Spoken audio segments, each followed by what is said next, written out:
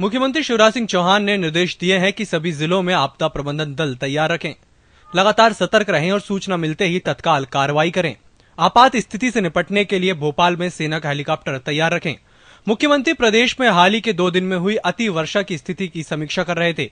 बैठक में राजस्व मंत्री रामपाल सिंह, मुख्य सचिव एंटोनी डिसा और पुलिस महानिदेशक सुरेंद्र सिंह भी उपस्थित थे। मुख्यमंत्री शिवराज सिंह चौहान ने कहा कि सभी जिलों में सावधानी रखी जाए कि नदी नालों में पानी बढ़ते ही लोगों को सुरक्षित स्थान पर ले जाएँ।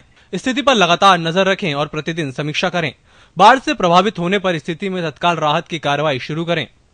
उन्होंने कहा कि राज्य स्तरीय बाढ़ नियंत्रण कक्ष के दूरभाष क्रमांक शून्य सात पाँच पाँच दो चार चार एक चार एक नौ के संबंध में लोगों को जानकारी दी जाए। सेना के हेलीकॉप्टर के अलावा राज्य शासन के दोनों हेलीकॉप्टर भी तैयार रखें। भोपाल सीएमएस टीवी के लिए राम पवार की रिपोर्ट।